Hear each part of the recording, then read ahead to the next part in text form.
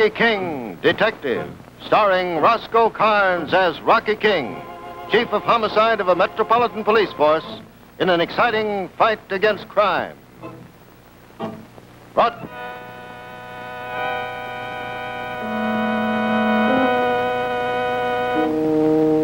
Now, Rocky King, Detective, and Murder in Advance.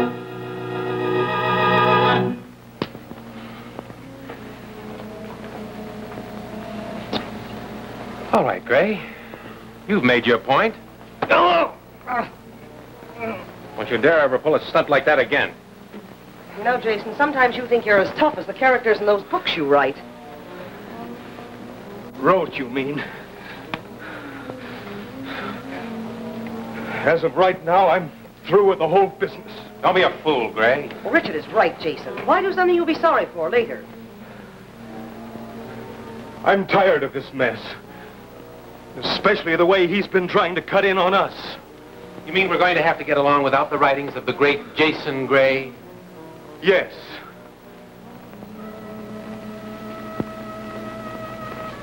Except for one last article I plan to do. And what's that? How I became a famous author. And why. Just a minute, you're... Look, parlor games? And so late? You two boys look as if you really mean it. I'll talk to you later. Well, what was all that about? Jason says he won't do another book. You're kidding. I don't think so. He'll come around. He'd better. I've already given a big advance on the story coming up. He sounded pretty definite, Phyllis. Oh? I think I can take care of that. I need a drink. Anybody else? No, thanks.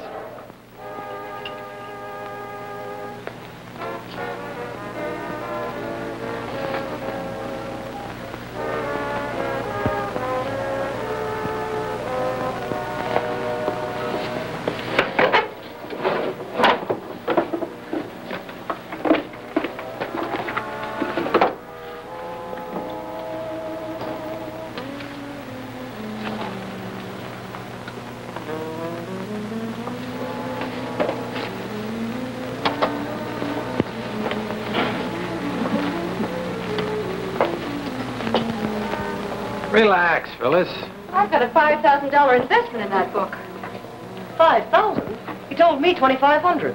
Well, it was 5000 Got the canceled check in my office to prove it. Oh, wait till I get my hands on him. you and half a dozen others.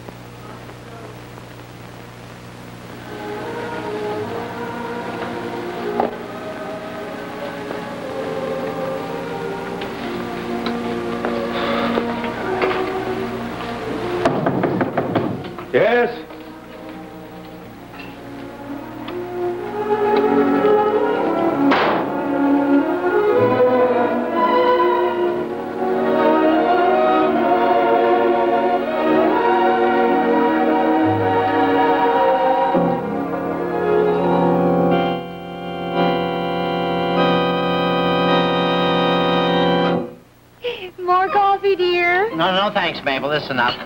you know the fellow that draws and writes is Jeff Strongheart has really got an imagination. What's your favorite comic character doing today? well, uh, Mr. Strongheart has volunteered to go down the ocean in a lead ball with a periscope on top of it. What for? Well, he's working for the government now. They're going to explode a new kind of bomb. Oh, well, he'll have a tough time getting out of that one. Not Jeff Strongheart. He's the bravest man in the world. Who does write that silly stuff anyway? Let me see. Cohen Callahan. There must be two people. Or a nom de plume. now be sure and get home for dinner on time. We're having company, you know. Oh, are we? Who, who's coming? A young lady that our son feels sure at this moment could possibly be our future daughter-in-law. Really? He's made the final decision now. Well, it sounds like it, and he spent two hours last night explaining why. He says at last he's found someone who really understands Well, that's him. good. We've been trying to do that for quite a few years ourselves. Well, who is this future charmer that's captured my son's heart? Her name is Lucy Ann Niles. They're a new family that just moved in the house across the street. They're from Chicago. They used to live in the Oak Park district. Oh, part. Ooh, Say, they must have plenty of money. Oh, well, I haven't had time to find that out yet, but Mrs. Murphy and I are working on it. Uh, Mrs. Murphy knows a night watchman that covers the Oak Park district, and she wrote him a letter. Well, let's take her chance and ha- have her here anyway. She just love eating in the kitchen. what will I have? Well, that's that's uh, that's your department, Mabel. But but put this thing, make it impressive. You see what I mean? Let's. Uh, I suggest we have a little caviar and champagne to start. Hello, Inspector King. Detective Hart, sir. I'm at 5 Northview Terrace, the home of Phyllis Bennett. Ah. An author was found shot to death this morning. An author, not Colin Callahan. Huh? Who's he? Well, he wrote 20 Leagues Under the Sea with Jeff Strongheart. No, sir. This man's name is Jason Gray. He's quite a famous mystery story writer. Wrote himself right out of the picture, huh? Yes, sir, and under rather peculiar circumstances. According to the doc, he was killed between 1 and 3 o'clock this morning. But I didn't get the call about a half an hour ago. Nobody heard the shots? Well, if they did, they're not admitting it. They say there was a big party going on here last night. Plenty of noise. And where's he found? Well, in what they describe as one of the guest rooms. Is your crew all finished? Yes, sir, but I'll hold the body for you. I think you better have a look at it. Fine, I'll be right there. Where do you have to go, dear? Five Northview Terrace, Miss uh, Bennett's home. Oh, Northview Terrace. That must be nearly as swanky as the Oak Park district in Chicago. Well, I, I imagine that it is. Now, you see how fate is preparing me for my future daughter-in-law's appearance tonight? Well, don't joke about this thing. Junior will marry someday, you know. Yeah, but not for ten years anyway. Unless he moves up in the mount, them there mountains. Yeah, that's the only place he can get a license. Those ten years will just fly by, and my Oh. little boy will be grown up, and then I suppose I'll be a grandmother. yeah, so so will I if I'm here, grandfather, one of the oldest. And as time marches on and life progresses, Junior's Junior will have a junior, and then I'll be a great grandmother. Well, I'll be gone by that time, sure. But but I'll rest in peace if along the line somewhere they just changed the name of Junior. But let's live a little while before the multiplication sets in. Now, look, put this on big tonight, Mabel. I won't eat any lunch, so I'll be good and hungry. Well, what do you think I should have? Well, again, I repeat, that's your department. But you, you're a good cook, dear, so don't worry about it. I know it'll be fine. Goodbye.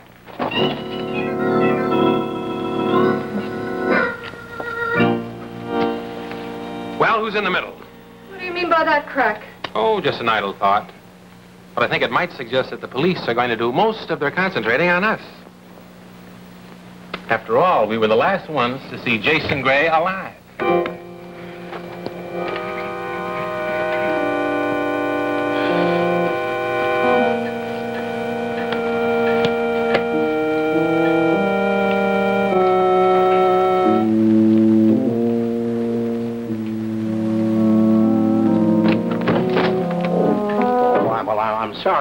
Suppose I should have knocked. That's all right, sir. I was just trying to line up the shot. Well, where'd you think it came from? Through the keyhole? No, sir, but I was interested in how the killer got in. Well, I imagine that you were. So this is the great author, great uh, Jason Gray, huh? Yes, sir. Was he famous? Well, he was pretty well known. You know, I kind of go in for those mystery stories. He got television set? Yeah. Say, do you look at him once in a while? Sure. Who's your favorite? Well, I'd rather not say. It's kind of personal. Uh, What's the story on this thing, Hart? well, uh, Doc says he was shot once in the forehead with a small caliber gun. Apparently, the man was just about to go to bed. See, his shoes were untied. Yeah, who found him? Well, the butler when he brought his breakfast this morning. Uh-huh. Anything on him? No, no, on him. we find these this stuff on the floor beside him. You know, this notepad could be very interesting if we knew the rest of what he was going to say. All that's written here now is to whom it may well, concern, I guess. The rest of it's torn off. Well, let me see it. You're right. Well, he got rid of this in a hurry, didn't he? And for a reason. I checked it. It's the dead man's handwriting, all right. Mm, well, we got to find the other part. It's one of his books? Yeah, there are more of them over here, sir. Until death do us part. Listen to this one. Murder, mayhem, and Molly. Sounds like a vaudeville act. Is, um, any sign of murder weapon? No trace of it yet, but I've got men searching the grounds. hmm Well, we better take his coat in, too. Yeah. Anybody else here? Well, there's uh, Miss Stanley, the dead man's girlfriend, Yeah. Richard Paul, the secretary, and Phyllis Bennett, the publisher. Oh, Miss Bennett's got herself quite a house here, hasn't she? Sure have. Well, as the way it looks to me right now, the most important thing, Art, is to uh, find out what he wrote in that pad there, where he tore it off. Oh, here's something that could help. The butler said that uh, these three people I just mentioned were having quite an argument with Gray last night. Really? Well, I'll start talking to him. You better have somebody take this stuff to morgue. You get out and see what you can find on these people. Right. Let somebody else finish up for you. Okay. Hey, listen. What if I can't get anything at headquarters? Well, then try the newspaper reporters. They know most of the scandal anyway. Right, sir. Oh, Oh, good morning. Who are you? Oh, this is uh, Miss Bennett, Inspector, the dead man's publisher. How do you do, Miss Bennett? I'm Inspector King, Police Department. I was just remarking to Detective Hart what a nice home you have here. well, I'm glad you like it. I certainly do. Well, I guess I'd better get started, hadn't I, Well, nothing's stopping you, son. You know what to do. Hope you didn't think I was eavesdropping. Eavesdropping, not at all. Sit, sit, sit right down, Miss, uh... Miss Bennett, we have a cigarette? No, thank you. Well, then maybe I better Oh, put... no, please, go right ahead. Really? All right, then I'll have one. Uh, when's the, um, last time you saw the dead man alive? Oh, well, I... What can you tell me about the dead man, too? Well, I can't tell you very much. Mr. Gray was hardly as flamboyant as some of the characters in his books. Mhm. Actually, he was a rather mild person, quite unassuming. Well, I didn't know him or his books. He was a clever person. You know, his books just seem to write themselves. Why, I've seen him and his secretary, uh, Richard Paul, go into that study, and in a half an hour, Richard would be out with enough notes to, to type all day. Well, did they write here all the time? No, most of the time in their homes. Oh, perhaps I should have explained, Inspector, that Mr. Gray, Mr. Paul, also Miss Stanley, spent the night here because of the party. Oh, I see. Well, I wonder if I could talk to Mr. Gray and Miss, um, Miss Stanley. Uh, certainly. And Mr. Paul, because he, they'll be ready. Oh, Mr. Paul, that's Yes. right. I had it wrong. Not a half a dozen, then. At least two had excellent motives. You're including yourself, I hope. Possibly. But I'm not ignoring you either. Now, what reason would I have to do a thing like that? Mm, Possibly the best one. Money. That's your whole world, isn't it, Noreen? You didn't care anything about him. If he'd have quit writing, your little ride on the gravy train would have been over with. Your thinking doesn't quite make sense. If I'd killed him, it would have been a sure way to make him stop writing. Perhaps that's the idea you had in mind. Anyhow, I'm positive the police would be interested in that slapping match you two had last night. That's quite true, Miss Stanley. We are.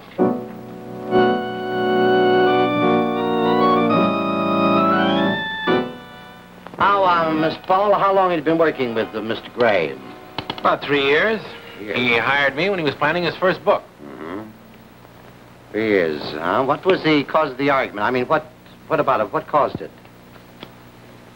Well, Gray seemed to think that I was being a little too attentive to Noreen. Oh, were you? Jason was a jealous man, Inspector, and for no reason. Especially where he was concerned. That's right. I don't think I have enough money for her. Well, that's a nasty thing to Now, say. now, wait a minute. But Let's- true, isn't it? Let's everybody try, try to get along here. Now, that's the second time you mentioned money, Mr. Paul. Why? I think I can answer that, Inspector. I gave Jason a $5,000 advance on his new book, The Reluctant Corpse. He told Noreen he only gave her 2500 Why don't you tell him how angry Jason made you two last night when he said he wouldn't finish the book? We'll put you out of a job, wouldn't it, Miss Paul?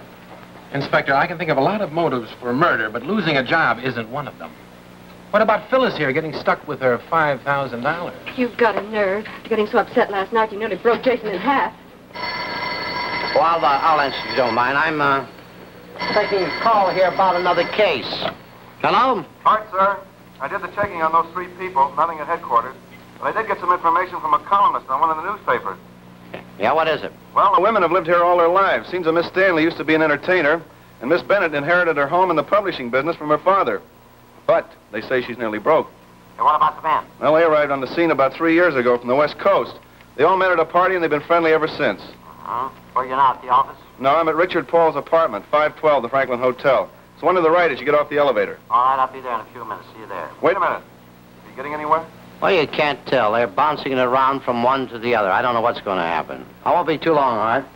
Excuse the interruption, but there's so many people in town. We're very busy. Now, Miss Stanley, when's the last time you saw your fiancé alive? Well, I, I don't know exactly, but it was here in the study. It was about 12.30, I think. Uh, we were all together. That's right. And then Jason left. And that's the last time any of you saw him? Yes. What do you mean when he said he wasn't going to finish his story? He didn't mean that. Of course he didn't, because later Jason told me that he was going to start on the fourth chapter of The Reluctant Corpse today. Later. Oh, then you uh, saw him after the argument? Oh, Yes, yes, I did. I, I didn't tell you. I didn't think it would mean anything. Oh, but, uh, but it does. It's quite important. You see, we know that, um, he was killed between 1 and 3. Now, he left here at 12.30. What, um, did you two people do after that. All right. Think it over. Everybody's staying in this house anyway.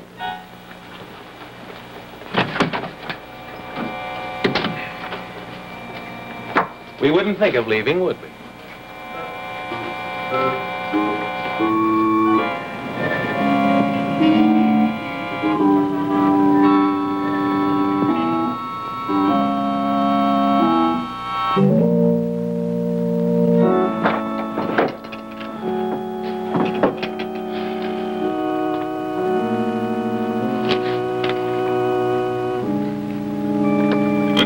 Harvey looked capable enough to solve the case, but his superior had no faith in him. He was going to make the whole department look foolish, as well as himself. Now, this Captain Henderson was certain.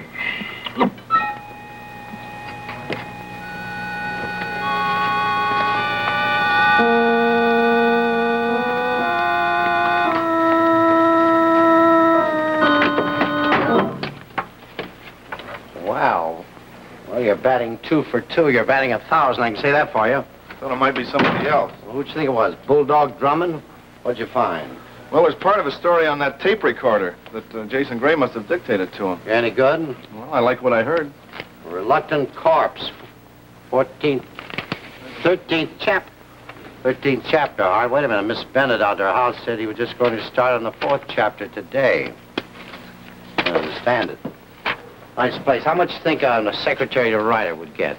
I don't know, sir, but I don't think he'd afford a place like this, do you? No, I don't. It's a lot of line, isn't it? Yep. So we'll have to start trying to find out where the money came from. Maybe he got another job with somebody else. Uh, how do you start this? This way, I guess. Charlie, Henderson crossed the room to where Lieutenant Harvey was kneeling beside the broken glass. It's ridiculous to think you can put Wait a minute, wait a minute. That's not Jason. Gray's voice. Well, who is it? Well, Richard Paul, the you man I just left. There will be any You understand this thing, Hart? Got an idea on it. I think I know why. Got a car here? Yes, sir. All right. Get over to the Bennett house, pick up Paul, and take him down to headquarters. I'll right. bring this stuff in.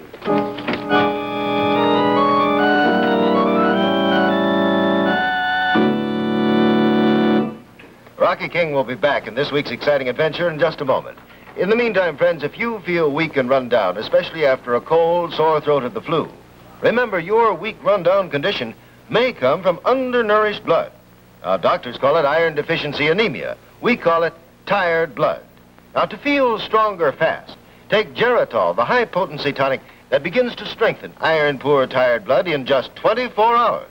Yes, in only one day, Geritol iron is in your bloodstream, carrying strength and energy to every part of your body. Now, just two tablespoons of Geritol, just this little bit, contains twice the iron in a pound of calf's liver. Tastes good, too. Now, here's a letter from Mrs. Harry Sterling of Webster, Massachusetts. She writes about her husband, who obviously had tired blood. And she says, My husband has been using Geritol since we heard you speak of it, and it is wonderful. When he used to come home from work, he would put he would sit down in the chair and say, I'm so tired. But since he has been taking Geritol, I don't hear him say he is tired. He would not be without Geritol. So if you're feeling tired and run down because of tired blood, particularly after a cold, sore throat, or the flu, get Geritol, liquid or tablets, at your drugstore today. And to save $1, buy the large economy size. But be sure you get what you ask for, Geritol, E G-E-R-I-T-O-L. Believe me, you'll feel stronger fast within seven days or your money back.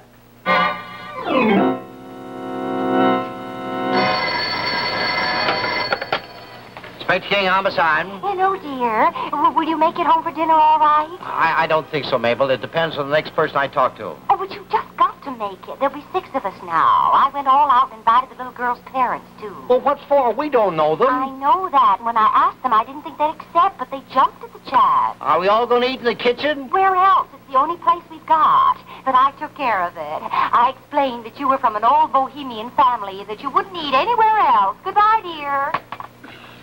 Yeah, I've been threatening for four years to put a dining room on that place. Here he is, sir. Oh, well, well, sit down. Sit down, Mr. Paul. Sit Yeah, yeah, that's, um, that's yours. How long you been writing Gray's books?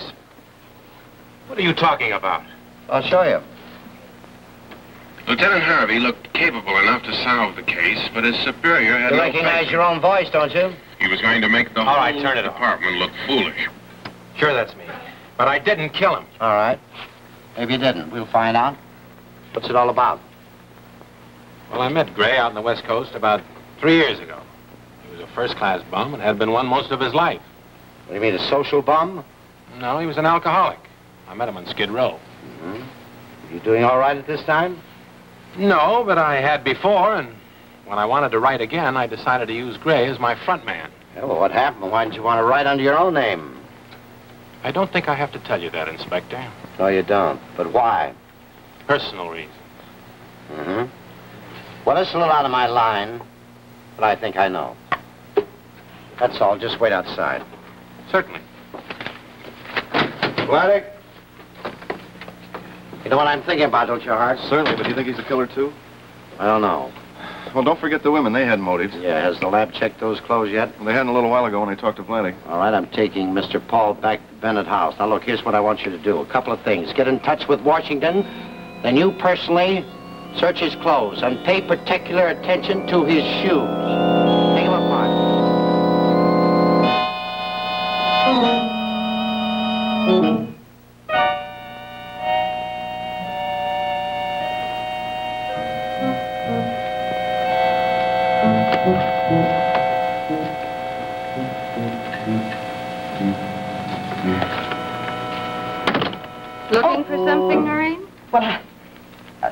I was. Jason had brought along a new English thriller with him, and I thought I might find it in his room. No, dear. It's in the study where you left it after lunch.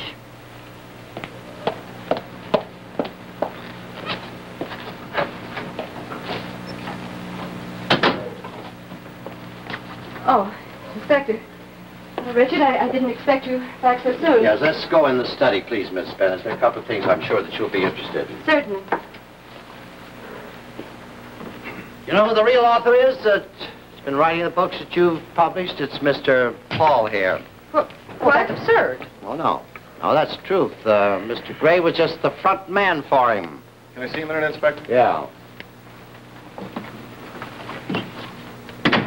Here it is. They had it figured right. Washington was also interested, but they thought possibly the name had been changed. Here's a little more information they gave me. See, how did you ever figure it was hidden in his shoe? Well, from something that Paul said, he said he was a bum on Skid Row. I used to work in the Bowery. You'd be surprised at the things we found in shoes. What's all the subterfuge, Inspector? Well, I, I, I don't think there is any, Mr. Paul. It seems all very clear. Now, this is the note that uh, Gray wrote when he tried to hide. It explains that at one time, Mr. Paul here had been writing propaganda against his own country. That's what Jason meant when he said he was going to tell how he became a famous author and why. You killed him to stop him. No, I don't think so. I think the last thing Mr. Paul would want would be a police investigation. Then who would have a motive? Well, you would, Miss Bennett. You know, he spent a lot of money on these books. You felt if the public found out exactly what he was, that they wouldn't sell. Oh, that's, that's ridiculous. No, it isn't. It seems to be true. When he left here, you know, you said that you followed him. Remember, he told you all about it. You tried to change his mind, but he wouldn't listen. You needed money, you needed it badly, and you thought the only way that you could get it was through the continual sale of his books. So you figured out there was only one thing to do. Came back a little later on, you came to his room, and then you shot him. Well, you have a hard time proving that. All right, leave her here, Hart. No, just stick with him.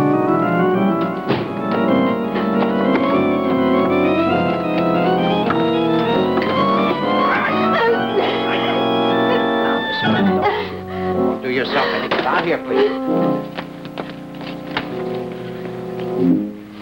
Well, here's a gun, Hart. This may be all the proof that we need. Take her and I'll take care of him. What are you charging me with, Inspector? Well, not murder, Mr. Paul. I think there'll be a couple of FBI men at the office, and I'm sure they'll want to talk to you. Let's go.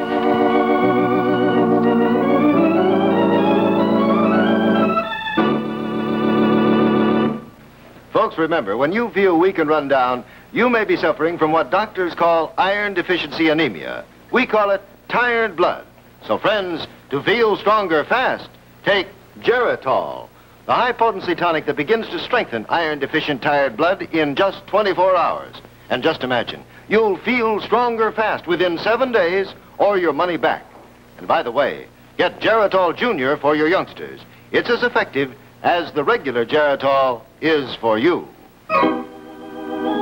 Hello, Mabel. Yes, case is closed. I'm coming home. What, dear? Yes, yes, yes, we got her. The gun checked it out for us. No, I, I'll, I'll be there for dinner. The what? Caviar and champagne. I wasn't going to bring that, dear. That's just for children. Well, you better get something else at the liquor store. Yes, dear. well, I'll be right there. Wonderful girl, that Mabel.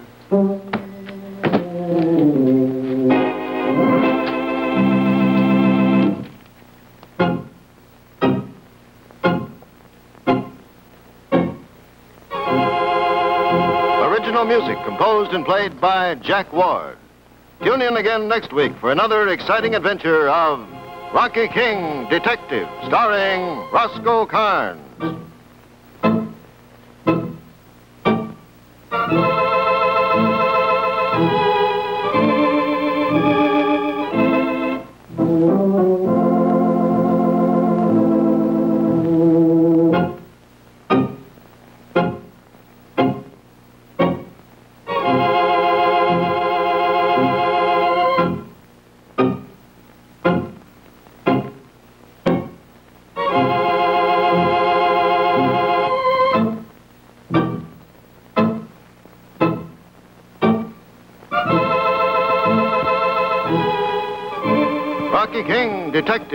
Brought to you by Geritol.